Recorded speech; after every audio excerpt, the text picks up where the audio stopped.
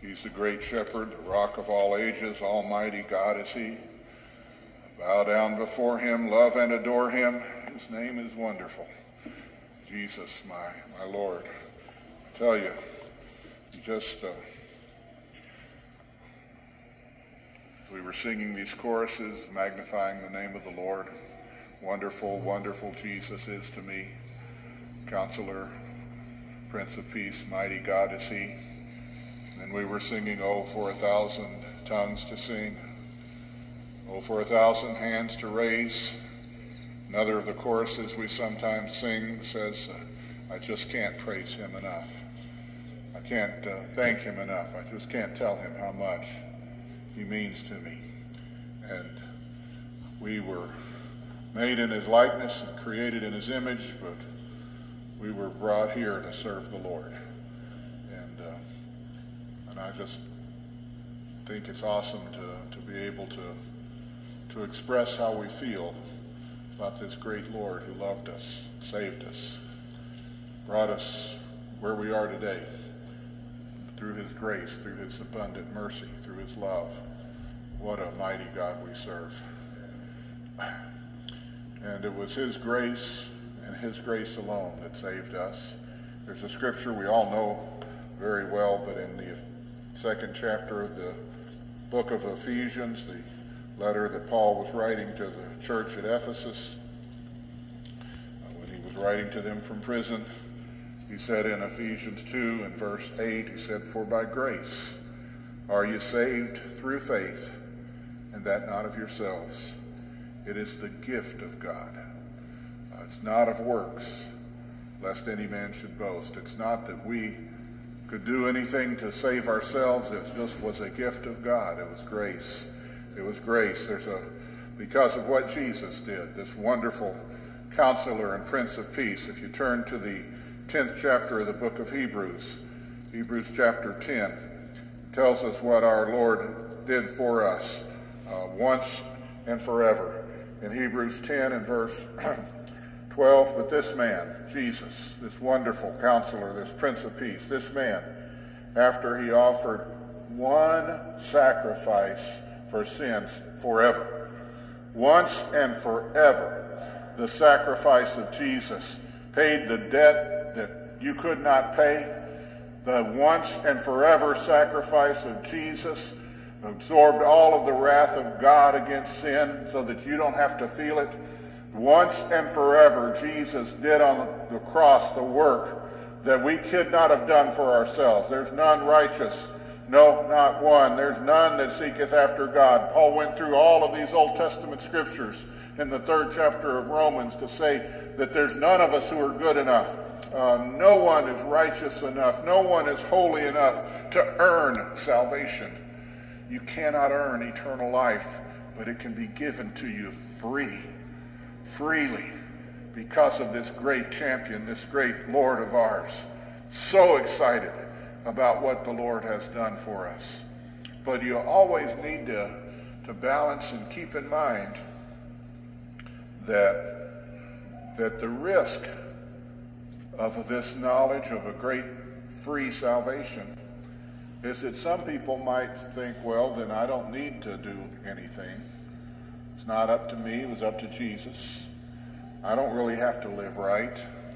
I don't really have to act right. I don't have to crucify the flesh. I don't really have to sacrifice and deny myself the pleasures of this life. People get the wrong idea sometimes, and they'll even quote scriptures to support the wrong idea. One of the scriptures that people support their wrong idea with is comes from the sixth chapter of the book of Romans, uh, Romans chapter six. There's a verse there in the sixth chapter that says that that you're not under the law. So if you're not under the law, then you don't have to obey the law, right? Romans 6 and verse 14 says, For sin shall not have dominion over you, for you're not under the law, but you're under grace. And that verse has become somewhat of an open door for all kinds of crazy ideas and misdeeds and misbehavior. Where it says you're not under the law, that's been interpreted wrongly to say, well, you don't have to, to obey God's law at all. Uh, Jesus obeyed it for you, so why do you have to obey it?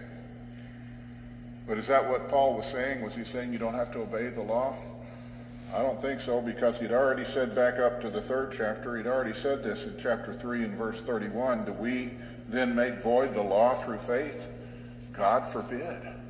God forbid. Yea, we establish the law. I tell you, grace is indeed a wonderful thing, but it doesn't void the moral law. Just because there's grace doesn't mean I can steal. It doesn't mean I can lie. It doesn't mean I can go around committing mayhem. Uh, we still have to keep the moral principles of the law. You can't commit adultery and say, well, the law doesn't apply anymore. Jesus paid it all. Because Christians, Christians, Christ followers, are supposed to be law keepers. But law keeping is the response to grace. It's not the cause of grace. That's important to understand. You didn't get grace because you're so good. You got grace because you were pretty bad. Oh, you were pretty bad and you got grace anyway. Maybe that's a better way to say it. But because I received grace, then I ought to start being good.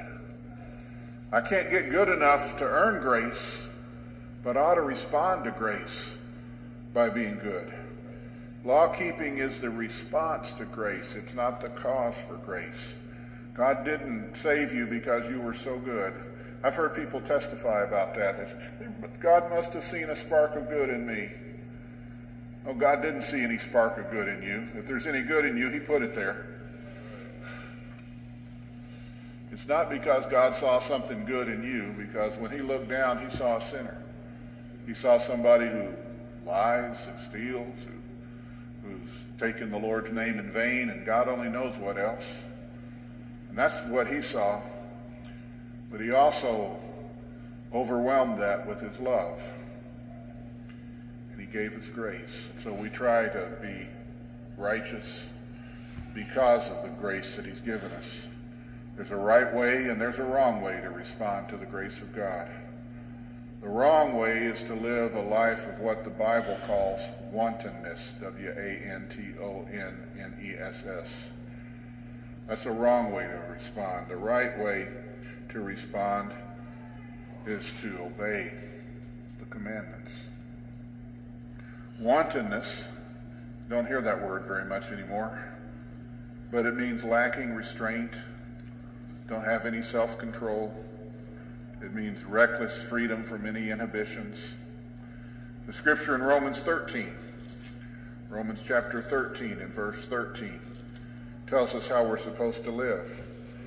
But let us walk honestly, as in the day, not in rioting or drunkenness, not in chambering and wantonness, not in strife and envying.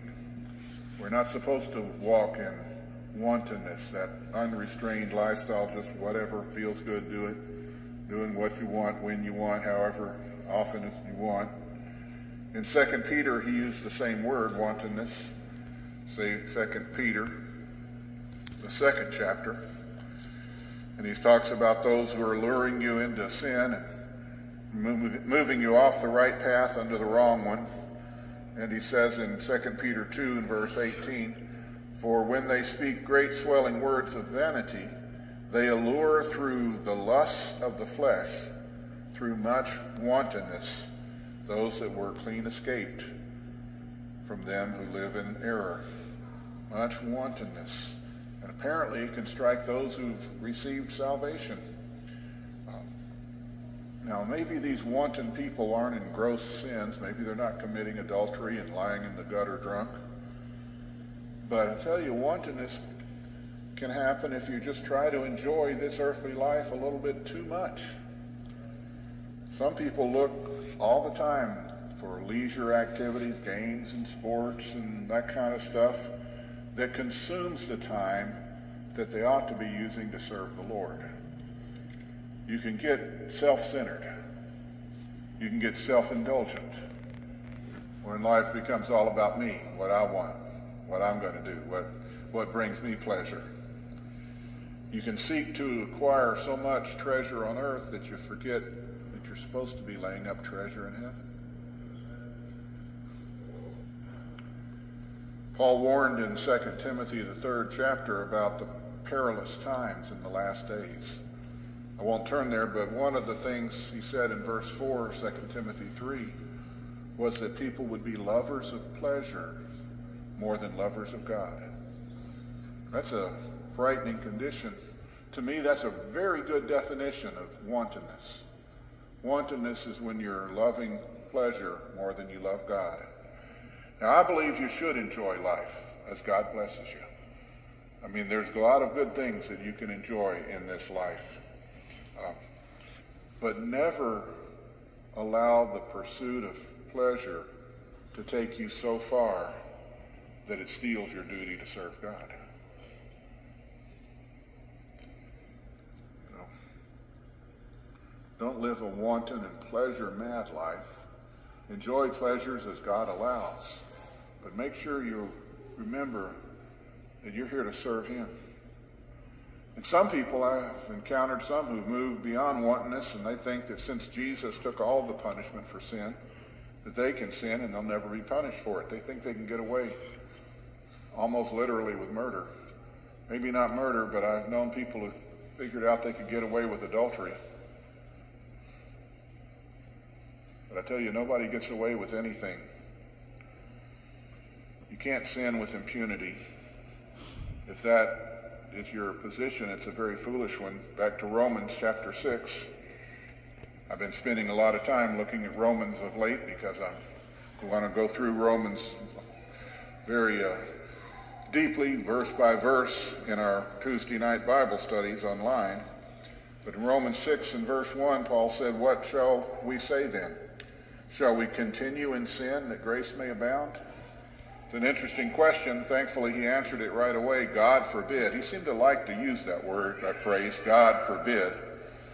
Uh, I think he wanted to be very strong in his condemnation of those who thought that because we're in grace, that you can just live however you want to live and just act any way you want to act. He said, yes. God forbid. Yes, God How forbid. shall we that are dead to sin live in sin? How can we allow sins to, to uh, be a part of us? Christ did not come to save you in your sins. He came to save you from your sins, to save you out of your sins. Um, while grace spares us God's punishment for our own sins, still, Christianity is a walk of obedience to the moral precepts of God's law. Jesus made this statement in John 14 forget which verse it is.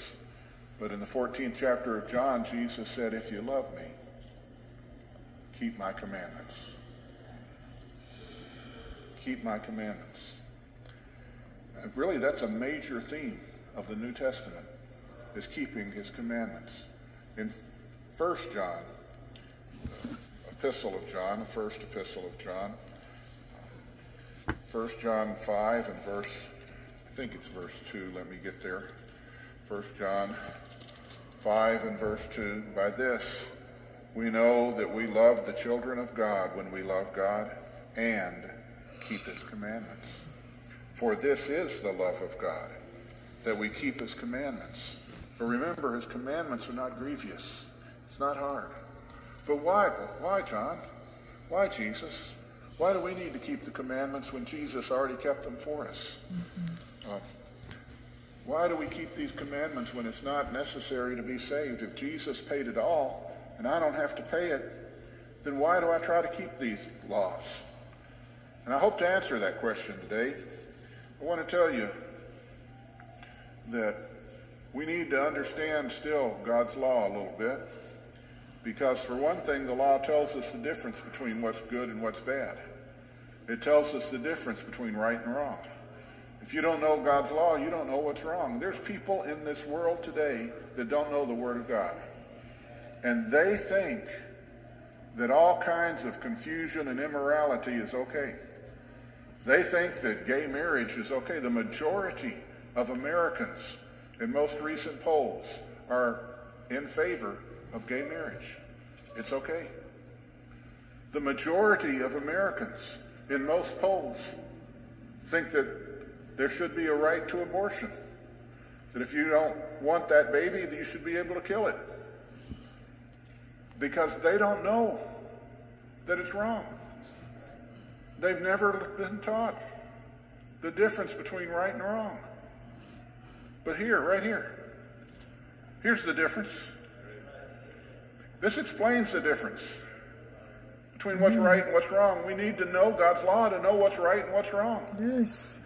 Oh, I'm sharing this. This is beautiful. Romans 3, verse 20. Romans 3 and verse 20 says, By the deeds of the law, no one's going to be justified. It's not, you're not going to be saved because you keep the law. But he didn't stop there in verse 20. He said, For by the law is the knowledge of sin. So we know what sin is by God's law. And we also know that God hates sin. And sin is rebellion against what God considers to be right and good. And if we know something is sin, then, then we ought not be doing that that God hates. I mean, we can't go ahead and, and commit moral transgressions. We should not go against the image of God that's been implanted in our consciousness. You know, I think Adam was made in the likeness and in the image of God, and I know that image has been marred by sin. But there's still something in humanity that God put there that's maybe a broken mirror, but it reflects God somewhat.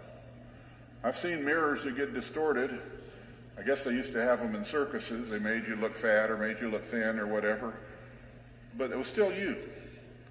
In a cracked mirror, you can still see you in there. And I think if God looks at his image in humanity, it's cracked, it's distorted. We're trying to heal that marred image. But the image of God is still there, and every society that's ever existed has had some concept of right and wrong. Because that's part of the image of God. And we ought to do right and avoid the wrong just because that's the way God programmed us. Um, we don't want to violate the moral code that God programmed into humanity.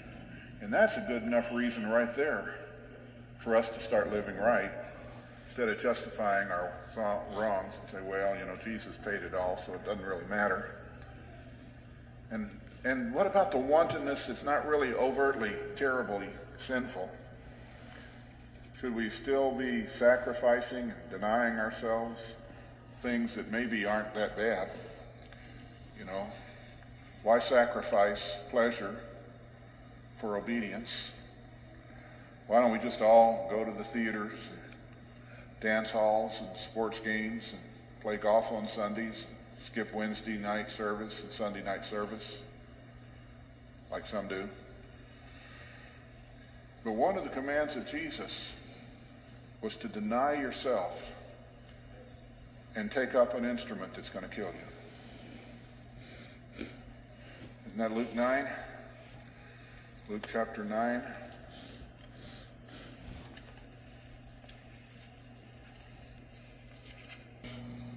There are good blessings that come from being a good person. The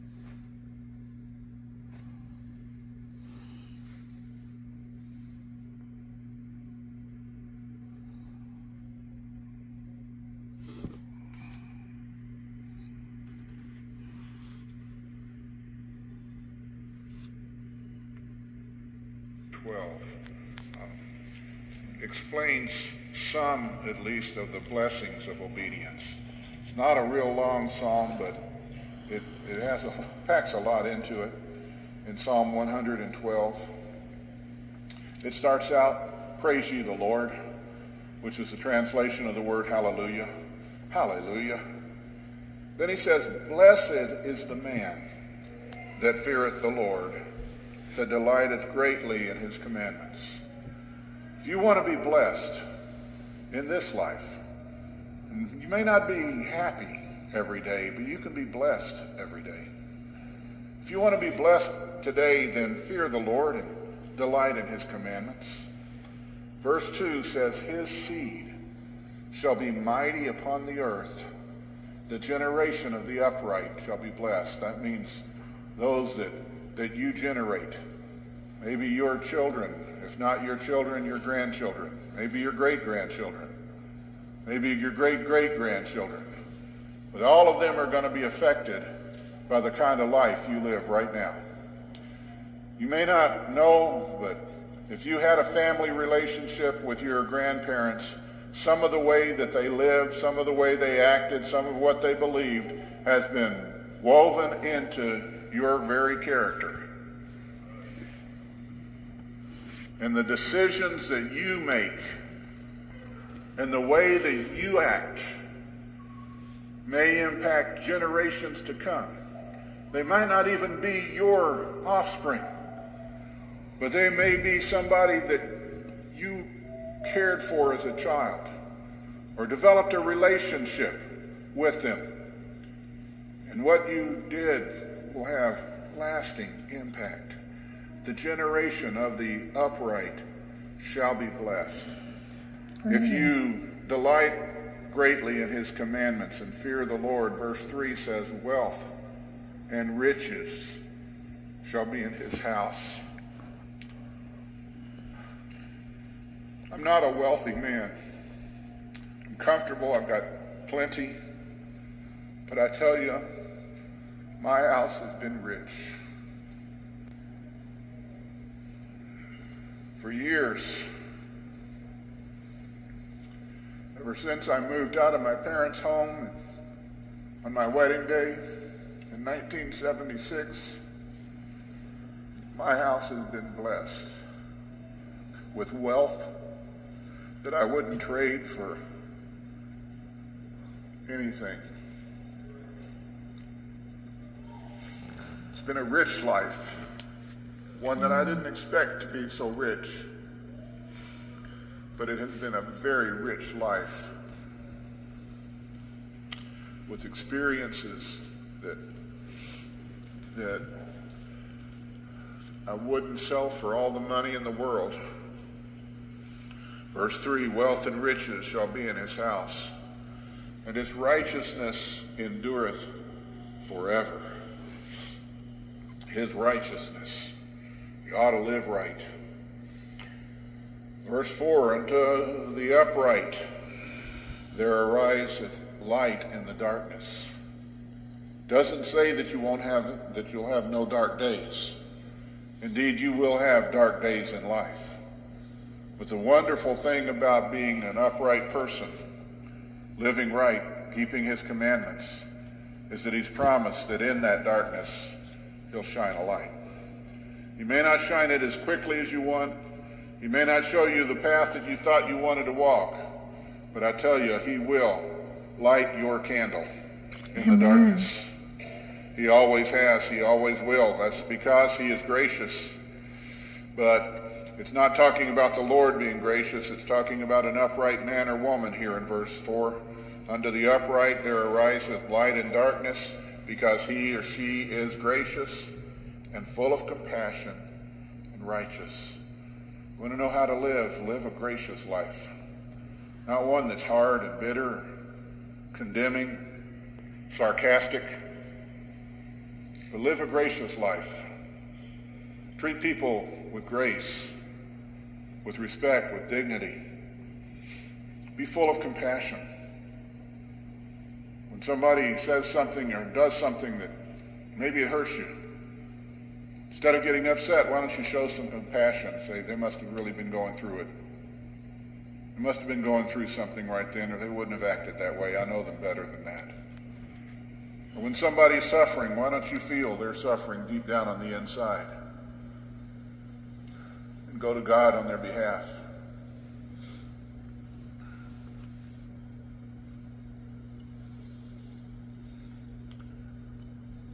I'm not,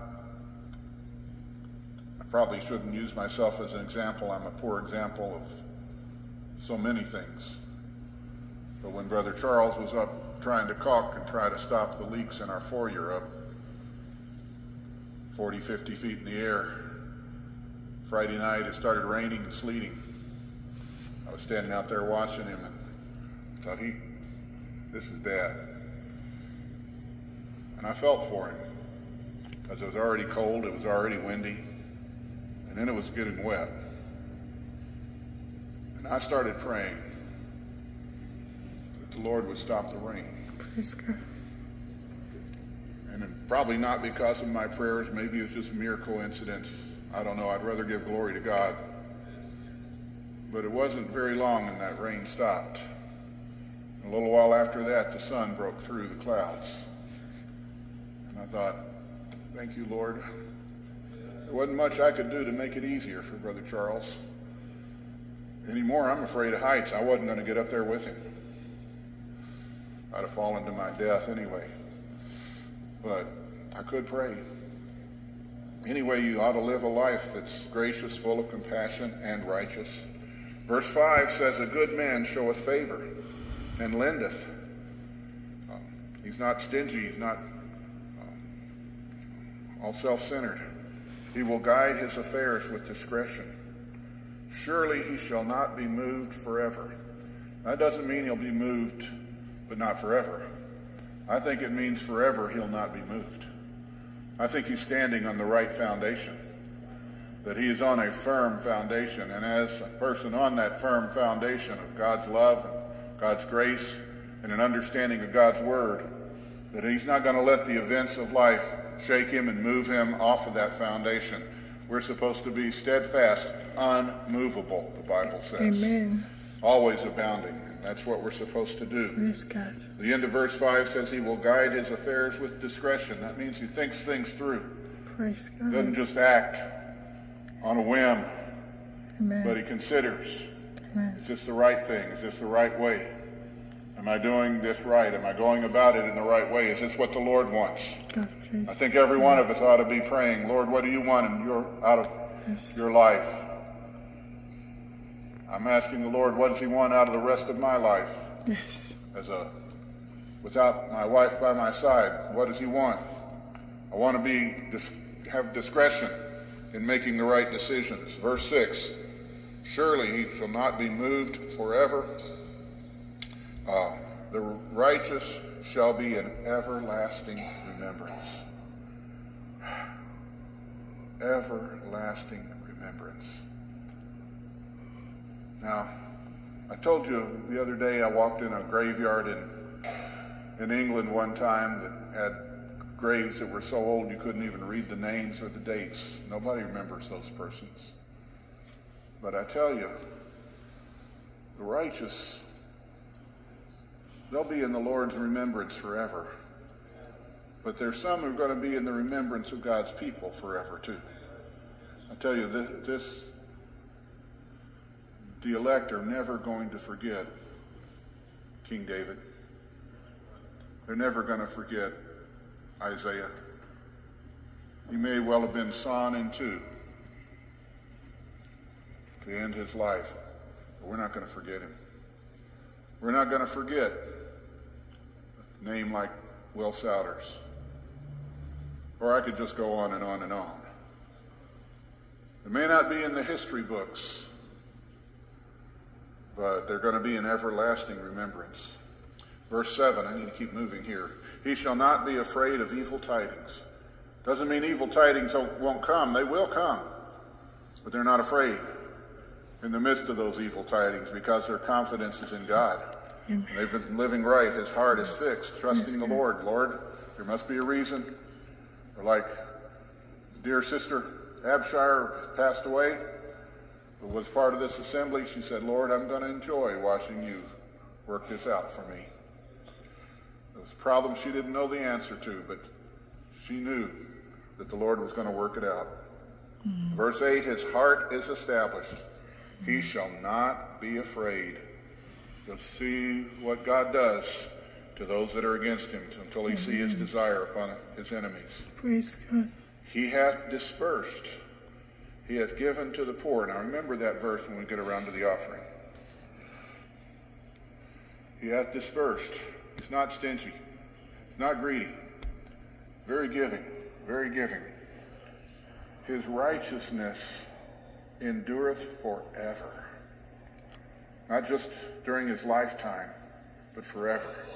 His horn, that means his influence, his authority, his reputation, shall be exalted with honor. The wicked shall see it and be grieved, and gnash with their teeth and melt away. The desire of the wicked will perish. But it pays to keep the commandments of God. And this 112th Psalm might not just be about temporal blessings for this life, but it seems to promise eternal blessings. It repeatedly assures us of what will endure forever. This righteousness will endure forever.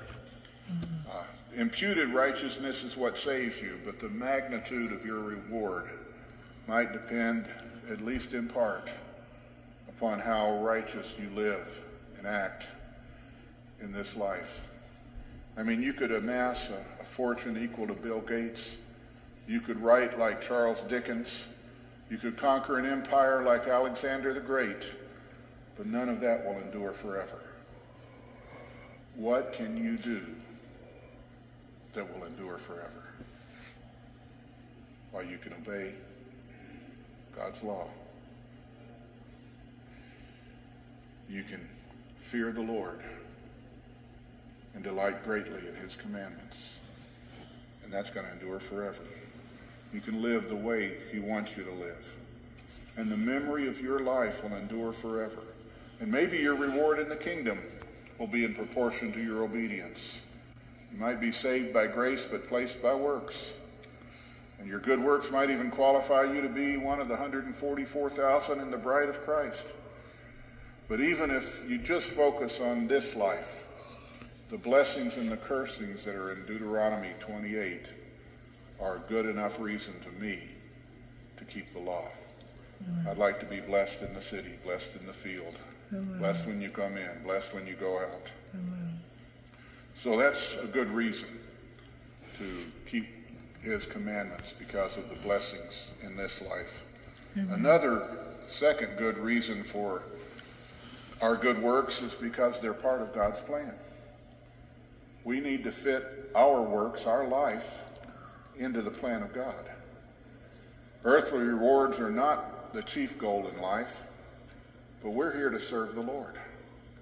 Remember that. We were saved to serve.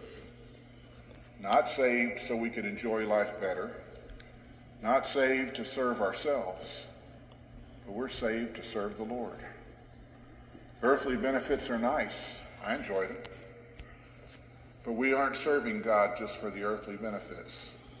We're seeking eternal life in full fellowship with Him. Now, God has a plan for the ages. Now, our lives occupy a small portion of the overall plan of God. God's been working for 6,000 years on the restoration of paradise and eternal life for the redeemed. And over that 6,000 years, he might give you 50 or 80 or 92 years. But you need to fit your 50 or 80 or 92 years into the overall plan of God. Amen. Because God has been working with a people. That's so true. Not just a group of persons, but a people in every generation. And we've been chosen to be part of that people in this generation. And the plan of God is God's plan, but it's accomplished through human deeds. I mean, the gospel will save souls, but God uses humans to preach it. I mean, it was God's plan to save the Jewish people from Haman's destruction. And God could have miraculously intervened and saved the Jews, but instead, a little girl by the name of Hadassah or Esther is the one who intervened to save God's people. God doesn't mow the church lawn. He depends on the good works of our brothers. His plan requires good works. i turn you to Ephesians, the second chapter. Ephesians chapter 2, verse 10. For we are his workmanship, created in Christ Jesus unto good works, which God hath before ordained that we should walk in them. God's plan was for us to walk in good works. We were created to do good works. Even small acts can have major consequences. And some of those consequences may not even be apparent for years, but just a kind word that maybe you said may affect somebody's long-term destiny or a decision that can have, as I said, generational impact. Again, my grandparents heard a song and they made a decision to walk into a little humble building at the corner of Maryland and Raleigh Streets in Evansville, Indiana in the 1920s. And that decision that they made to walk into that building is affecting my life today. And it's affecting my granddaughters today.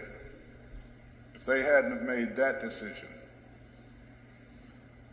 nearly a hundred years ago, what of the consequences have been in the life. I'll just get personal with my life, my children's life, my grandchildren's life, and who knows how many more generations before the Lord comes.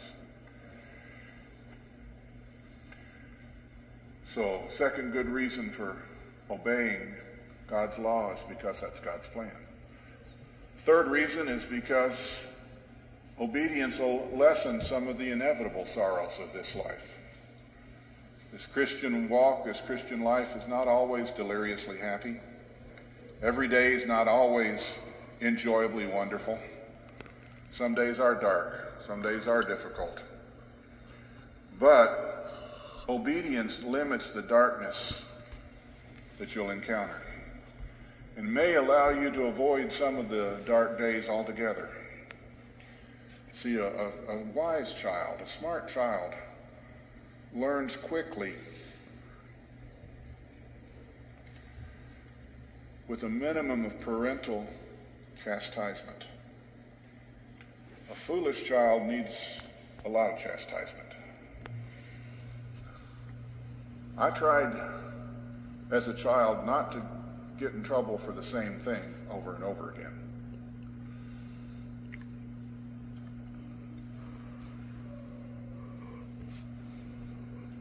I mean, usually getting whipped one time was enough for me, on that point anyway. I tried not to get whipped multiple times for the same rebellion. Think it would be kind of foolish knowing the coming discipline to keep doing the wrong over and over again. And Proverbs 19:18 says to chasten your child while there's hope. Don't spare for his crying. And so this point may be just another way of saying you'll be blessed for obedience, but I want to emphasize here that disobedience brings chastisement and sorrow tells us in Hebrews 12, Brother Zachary will find the verse for me, but it tells us in Hebrews 12 that whom the Lord loveth, he chasteneth. And he scourges every son that he receives. Now he's not punishing them for their guilt, but he's lovingly correcting them for wrong attitudes, wrong acts. And I would like to skate through life with a minimum of God's chastisement rather than the maximum of God's chastisement. And so obedience helps me to minimize that chastisement and you get down to, oh, let me just turn, my mind goes to the 128th Psalm. I think it applies here. Psalms 128, where it's going through how good it is when you're not being chastised. Psalms 128.1, Blessed is every one that feareth the Lord, that walketh in his ways. Sounds like what we just read in Psalms 112. For thou shalt eat the labor of thine hands. Happy shalt thou be, and it shall be well with thee. Now that's a pretty good way to go through life. Now the Lord's going to chastise you to get you doing the right thing, but I'd rather have a minimum of that chastisement. Yes. In one of the earlier Psalms, David said that you're my hiding place, Lord. Yes. Preserve me uh, from all kinds of trouble. So that's a good reason to be obedient to the commands of God.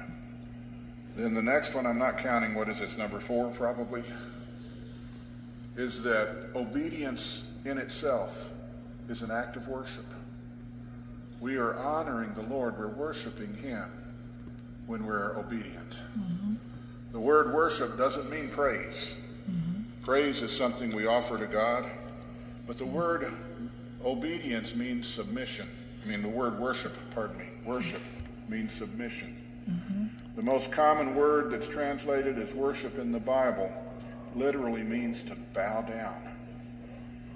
It's a gesture of respect and submission to God. By obeying God's moral law, we're showing him that we honor him, that we respect him, that we submit to his will. Um, well, I'm right here in Psalms. Let's go to Psalms 119. In verse 33, it says, Teach me, O Lord, the way of thy statutes, and I shall keep it unto the end. Give me understanding, and I shall keep thy law. Yea, I shall observe it with my whole heart. The Living Bible's translation of those two verses says, Just tell me what to do, and I'll do it. As long as I live, I'll obey. And that's a pretty good attitude. Lord, just tell me what to do, and I'll do it. Number five. Obedience will draw you closer to God. Yes, amen. It's not just a way to worship Him. Yes. But it's a way to get closer to Him. Yes. To prepare you for whatever He leads you to. Help you grow as a Christ follower. It's James 4 and verse 8 that says, Draw nigh to God, and He'll draw nigh to you. cleanse your hands, you sinners. I think he goes on to say, and purify your hearts. But if you draw close to God, he's going to draw close to you. And the Bible speaks of different persons like Enoch who walked with God. But the Lord can't fellowship wrong attitudes wrong spirits and wrong acts. He can't uh, fellowship sin think that's Isaiah 59 2 that says, Your sins and your iniquities have separated you between you and your God. And he's not really interested in our foolishness. God's not interested in our vanity. But he does love our obedience. Living a Christ-like life doesn't save us, but it, it does draw us close, us closer to the Lord. And wouldn't that be a good place to be close to the Lord? Let me just back up a few more pages here in Psalms to the 91st Psalm. Talk about a good place to be. To be under the shadow of his wings. Psalm 91, oh, I probably could go through the whole chapter here, but I'll try not to. He that dwelleth in the secret place of the Most High shall abide under the shadow of the Almighty. I'll say of the Lord, He's my refuge and my fortress, my God. In Him will I trust. He's going to deliver you from the snares and pestilences. He'll cover you with His feathers, and under His wings you'll trust. His truth will be your defense, your shield, and your buckler. You won't need to be afraid of terror or pestilence or destruction Why? Verse 9, because thou hast made the Lord, which is my refuge, even the Most High, thy habitation. because you've drawn closer to the Lord. So that was point five, if I remember right. Draws you closer to the Lord to obey. Point six, obedience is part of our progressive sanctification. It's part of what the overcoming life is all about. Sanctification is different from justification. You're justified by grace. That means you're not going to be punished for your sins. But sanctification um, means you're being separated unto God, separated for some um, higher purpose, for some sacred work. You're being separated from sin. There's an initial separation when you're saved, when you repent. there's a separation when you're justified by the Holy Ghost. But then there's more separation from sin throughout the rest of your life. And it's the work of incorporating God's Word into your life. Jesus made this statement in his high priestly prayer in John 17 and verse 17. He said, Sanctify them through thy truth. Thy word is truth. It's the sanctification that, that the washing of the water by the word works in us. For us to grow spiritually, to progress in sanctification, we have to bring our lives into conformity with the will of God. Yes. And he revealed his will for us right here in his law and his commandments. Jesus is looking for a glorious church. Isn't that Praise Ephesians God. 5 and verse 25? I think it is. That he wants a church that's sanctified by the word of God.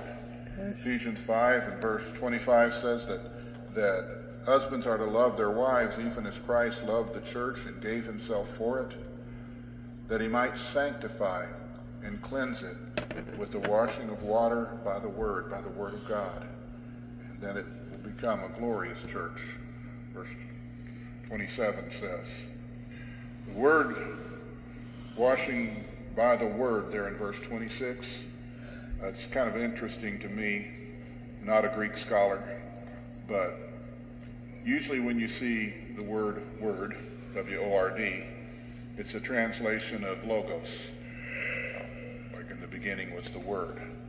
But it's not logos here in verse 26. It's rhema. R-H-E-M-A. Rhema is a different word. It means a, an utterance or, or what God has said. And it's what God has said that's going to sanctify us. What God said here. What God said right here. What God has proclaimed and what he proclaims through our sanctified lives if we're living epistles separates us from those that have not been redeemed, those that are still steeped in sin. Uh, Jesus said this in John. He said, uh, he said, you're not of the world. He said, if you were of the world, the world would love you. But because you're not of the world, the world's going to hate you. There's a real difference. There's only really two people in the Bible.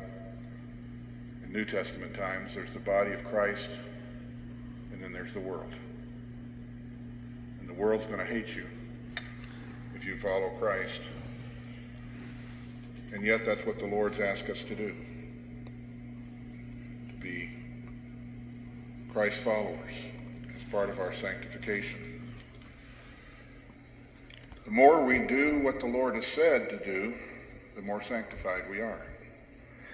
We can either get close to the world and be close to sin, or we can be far from those things yes. of the world Praise and be close to God.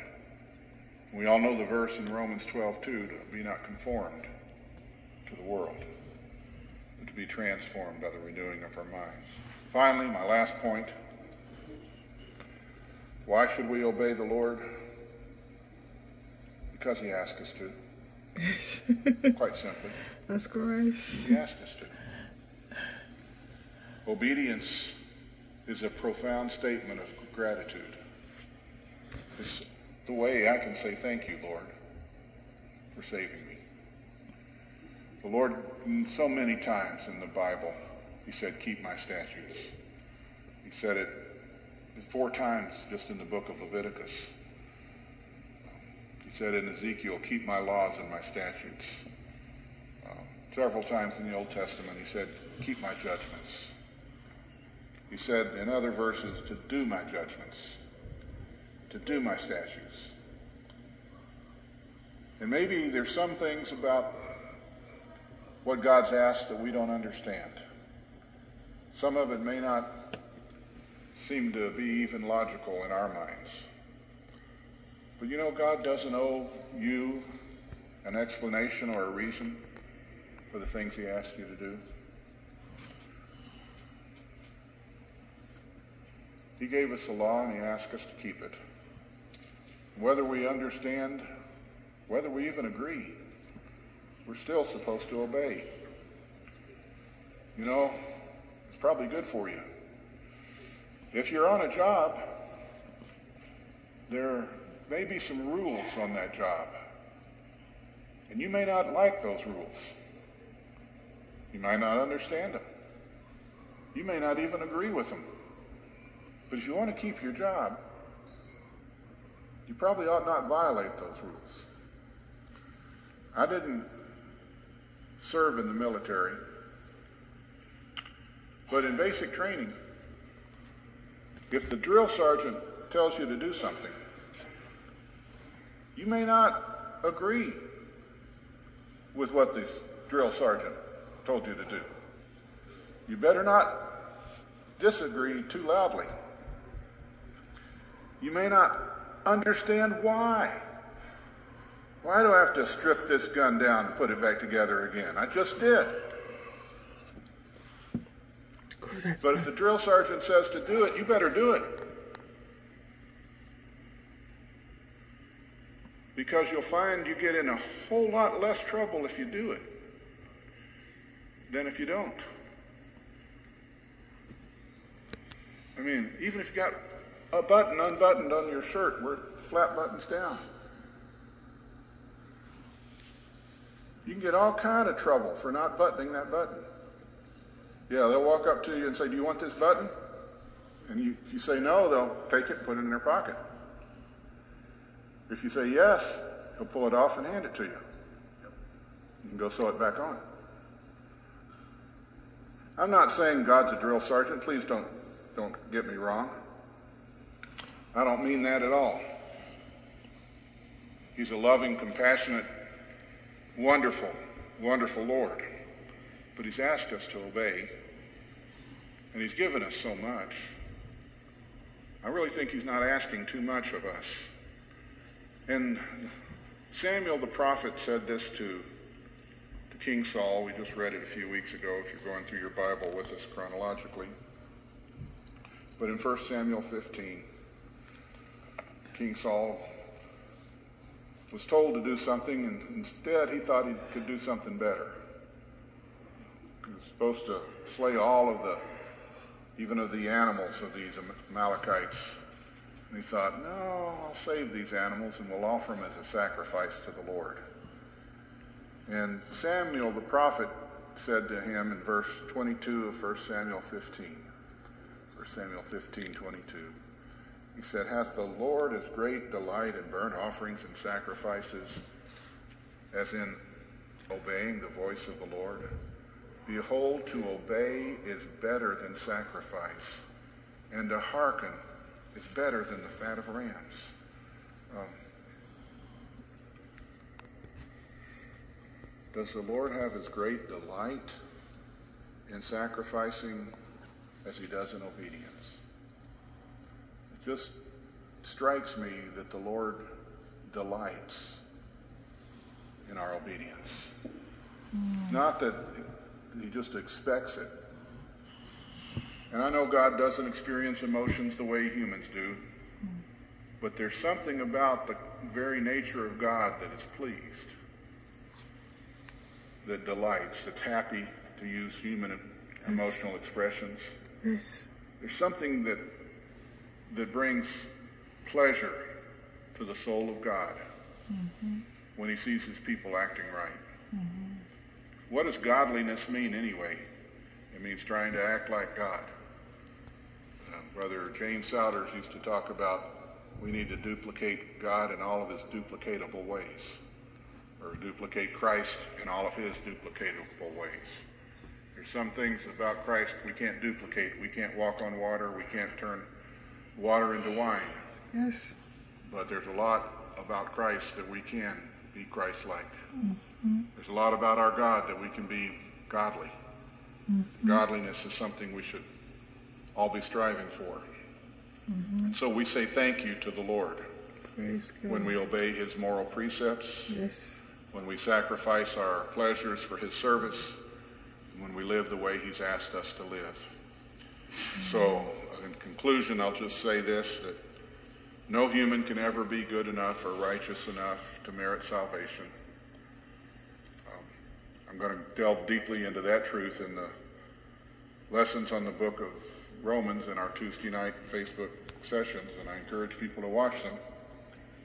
But even though we can't earn salvation, even though it's freely given as a gift from God, even though the sacrificial atoning death of Jesus did all that was needed to free us from the penalty of sin and to transfer righteousness to us still, we're supposed to be good and faithful servants.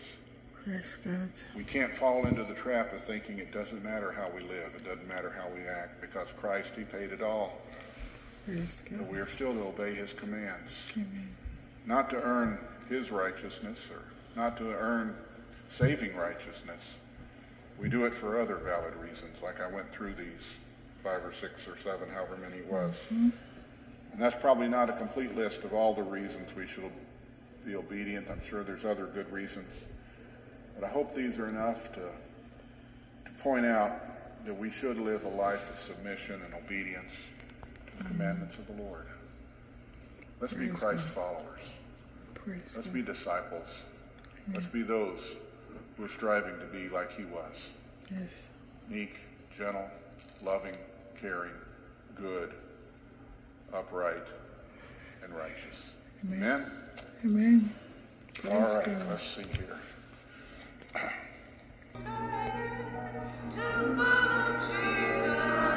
I have decided to follow Jesus. Have decided